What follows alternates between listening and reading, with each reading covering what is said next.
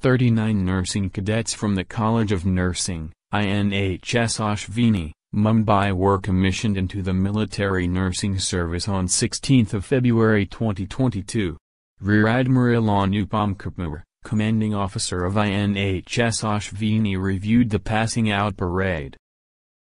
Like, subscribe, share and check out the playlist for more content.